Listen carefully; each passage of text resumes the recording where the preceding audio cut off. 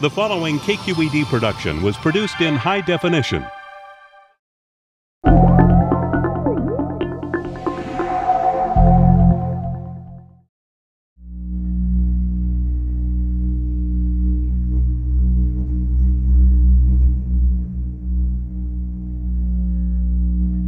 In ancient China, they were believed to be a giant celestial dragon devouring the sun. The court astronomers were charged with predicting total solar eclipses.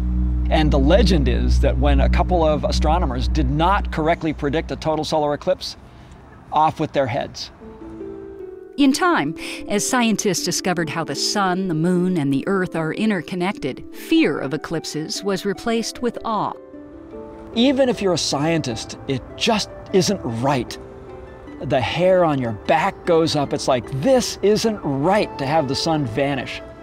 There are people so drawn to solar eclipses that they'll travel halfway around the world to witness one. I am an eclipse chaser, for absolute sure. As a physicist with San Francisco's Exploratorium, Paul Doherty actually gets paid to pursue eclipses. Eclipse chasers go after eclipses wherever they happen on the Earth. I went to an eclipse in the Atacama Desert of Chile. And before that, I got to go to Zambia, Africa. And then two eclipses in Turkey on the edge of the Mediterranean. The timing of a solar eclipse has to do with how often the moon comes between the sun and the earth. The orbit of the moon is actually tilted a little bit so that the moon most of the time passes above the sun or below the sun. Every one or two years, though, the moon passes right in between the Earth and the Sun, and the conditions are right for a total solar eclipse. So, when this happens, why are only some people able to see it? Well, it all has to do with size. The Sun is much bigger than the moon, and so the sunlight from the edges of the Sun actually shines around the edges of the moon and makes a shadow that is a cone it comes to a tiny point. And during a total solar eclipse, this cone of darkness, it's called the umbra, makes a spot on the Earth that's only about 100 miles wide. As the Earth and the Moon rotate and orbit, this shadow travels several thousands of miles in a curved path. If you take an Earth globe and a wet piece of spaghetti and throw the wet piece of spaghetti at the Earth globe, you get a pretty good representation of the path of an eclipse. Only the people fortunate enough to be along that path will be able to see the eclipse. And this brings us back to the chase. It turns out that the Bay Area has been a hotbed of eclipse chasing for a long time. One of the most famous chasers was Charles Burckhalter, the first director of Oakland's Chabot Space and Science Center, which opened in 1883 as the Chabot Observatory. The superintendent of the Oakland schools had seen a, an observatory at a public school system in Philadelphia, and he was really captivated by this idea and decided that this was something that Oakland should have as well. Eventually, it dawned on somebody that they actually needed some people who knew about telescopes to run the observatory and to keep all the equipment properly adjusted, and that's how Burckhalter originally became involved. Burckhalter, a math and astronomy teacher, had actually set up an observatory in his own backyard.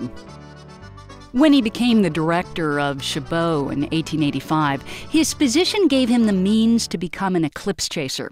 At the time, photos of the sun's atmosphere, or corona, were the only tools scientists had to study the sun. Determined to photograph the corona, Burckhalter set sail for the 1898 India eclipse.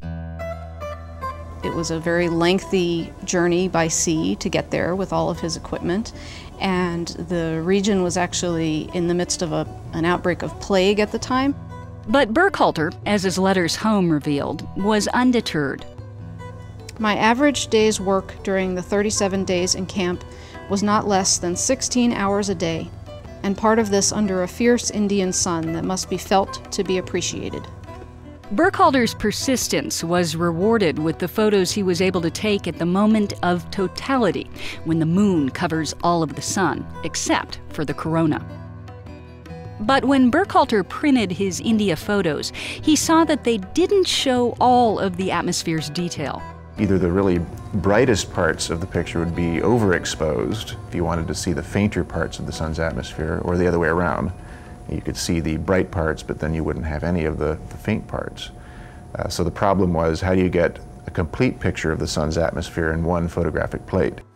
To solve the problem, Burckhalter invented a mask that varied the exposure time by rotating in front of the camera. This uh, kind of spiral shaped piece here, he would use that to determine the shape of his mask that he was making. Charles Burckhalter's invention was uh, like a fan blade used to control the amount of light passing through and, and hitting the photographic plate.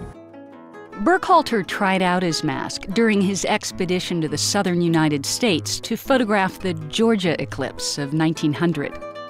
And here's an example, the picture Burckhalter took with his innovation, his uh, rotating mask.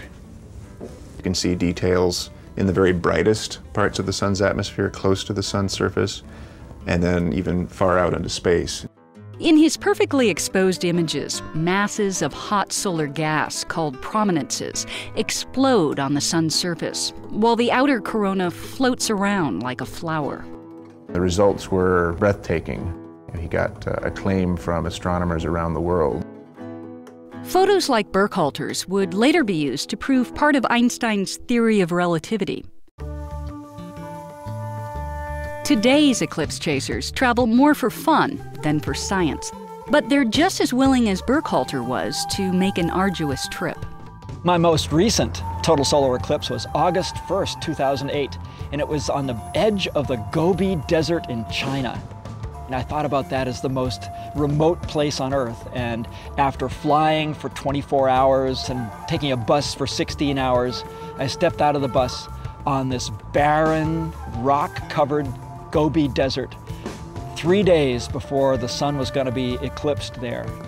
Doherty and his team of NASA and Exploratorium personnel set up shop and prepared to broadcast the eclipse live to 100 science museums across the United States and to 1 million people through the web.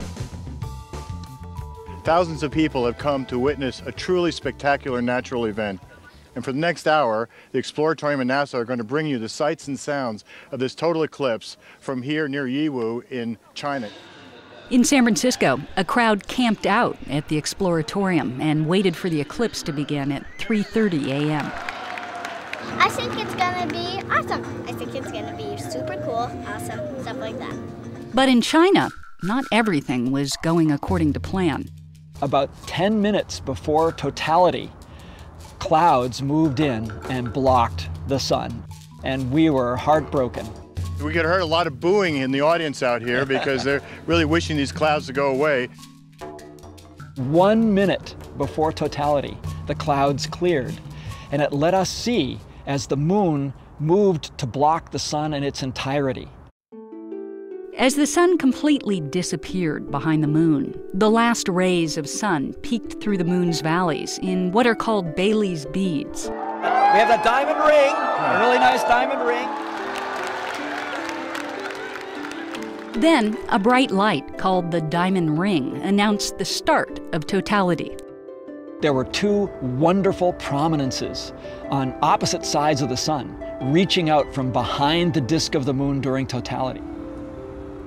It's a great spectacle.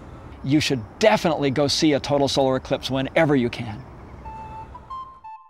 Humans have a vested interest in keeping an eye on the sun. Prominences warn us of solar magnetic storms that can hurt astronauts in space and cause power outages on Earth. These storms originate in the part of the corona closest to the sun's surface, and this inner corona can only be photographed during an eclipse. But perhaps solar eclipses' biggest contribution to science is still the curiosity they inspire. 哎，你是第一次观看日全食吗？对，我是第一次观看日全食，觉得特别激动，然后觉得日全食特别壮观、特别漂亮。我希望以后能够多多参加此类的观测活动。Keep Quest free. Discover more and donate at kqed.org/quest.